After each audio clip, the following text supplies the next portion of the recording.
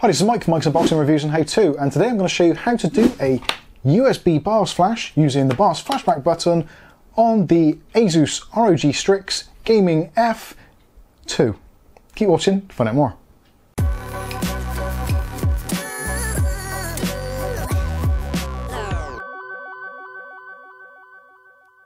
Okay, so in today's video I'm going to show you how to do a USB BIOS flash on your Asus ROG Strix B450F Gaming version 2.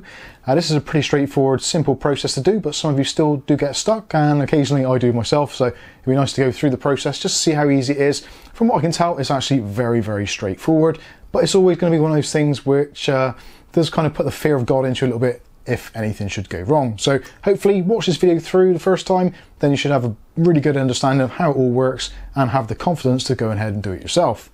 So the things you're going to need for this is a power supply for the motherboard. You don't need a processor, you don't need RAM, you don't need any storage. So literally all you need is the bare board itself, the power supply to power the board itself. Now again, it doesn't have to be an expensive power supply as long as it's got the 24 pin power connector for the board itself and also either a 4 or 8 pin to go in this top corner.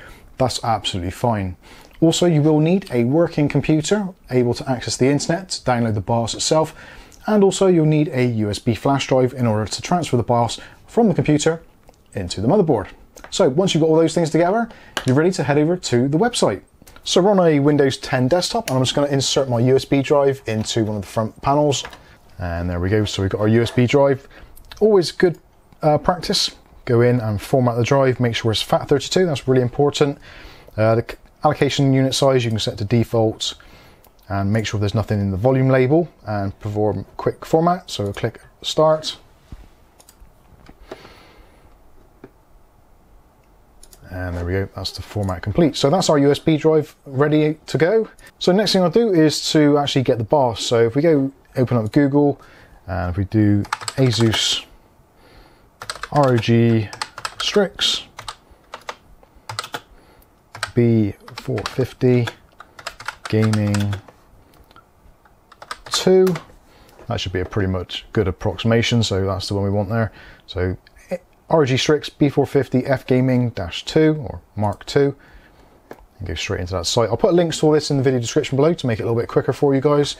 And essentially the board that I've got is uh, from March 2021 and it's actually got the BIOS version 4007 on it.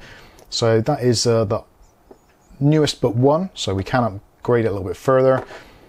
And what we need to do is to go into support and then we can go into drivers and tools and then you've got the option for BIOS and firmware.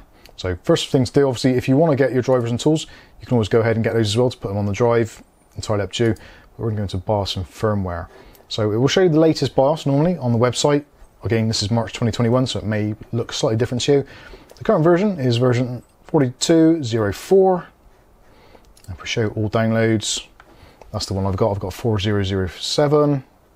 So updated with support for AGESA v2p 1.200 and it improves resizable bar compatibility for NVIDIA RTX 30 series cards, which you can't buy, and improves system performance, which is always a good thing. So we're going to go ahead now and download this. And first of all, I'm going to download it onto the desktop. Save it there and that shouldn't take very long. The file itself is actually a zipped file, so we'll minimize these windows a moment. And here is our file, so we can extract here, or extract to, whichever you want to do. Use the extraction method of your choice. You can use Windows built-in one if you wish to. And inside the folder itself, we'll see there is a couple of files. Now, one is BIOS renamer. So what you need to do is essentially you need to rename this BIOS file so it's something that the computer or the motherboard can actually uh, read. So what we're going to do is we're going to double click on BIOS Renamer. And it tells you there, so that is the original file name. So ROG-Strix-B450, etc, etc. And has now been renamed to RX450F2.cap. So as it says there, the file has been renamed to this. To use BIOS flashback, copy that to the root of your USB flash drive. Press any key to continue. So that's that done. So as you can see now, our file name has changed. If you want to, you can change it yourself manually, but um, most of the time it's just easier to use the BIOS renamer. You don't have to download anything extra. It does come actually in the zipped folder. So now what we need to do is right click on this one and we'll choose copy. And then we'll go to our USB drive and right click and choose paste. Obviously, whichever method you choose to actually transfer the file is entirely up to you, but essentially that is what you need. So just this file on its own in the root of your USB drive, which is formatted FAT32 and ready to go. So now we can eject that. So you can either go to the bottom here and click on eject ultra, which is our SanDisk Ultra. And there we go. So now we can take the USB drive out and now head over to our setup computer. Okay, so now we've got our USB drive ready to go. So now we need to get the motherboard prepared. So I've put the motherboard onto the box that it came in just to keep it uh, off of the surfaces, that kind of stuff. We've got a cheapo power supply, but all we need is a couple of connectors on there. So that's gonna be absolutely fine. And we'll need obviously a power supply for the power supply, a power cable. So we'll just use the kettle lead and plug that one in.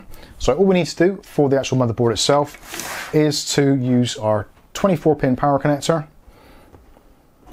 and also the 4 pin or 8 pin supplementary connector.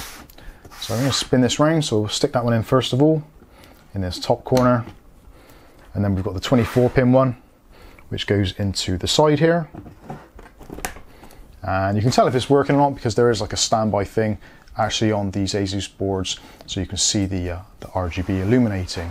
So the next thing to do is to actually plug in our USB drive. Now it's very important that you actually plug it into the right ports. If you look at the I.O. section down here, you'll notice there's a load of USB ports.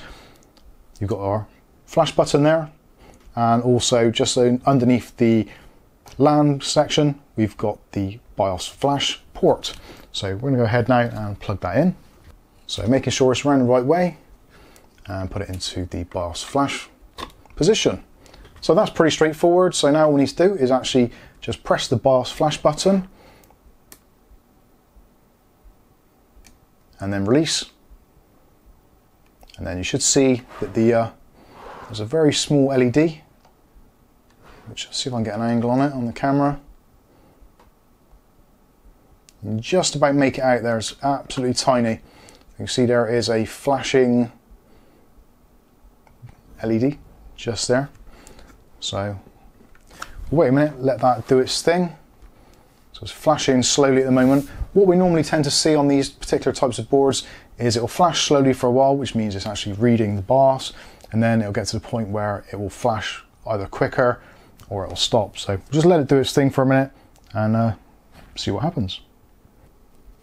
You can now see the, uh, the BIOS LED over here is now flashing a little bit quicker and also from the overhead camera view we can see that the actual USB stick is actually starting to flash and transfer data now so we'll let it carry on keep an eye on the uh, the flashing see what happens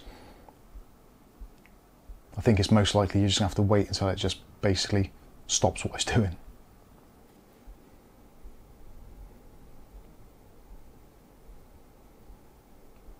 There we go, so the LED is now extinguished on the BIOS flash on the back.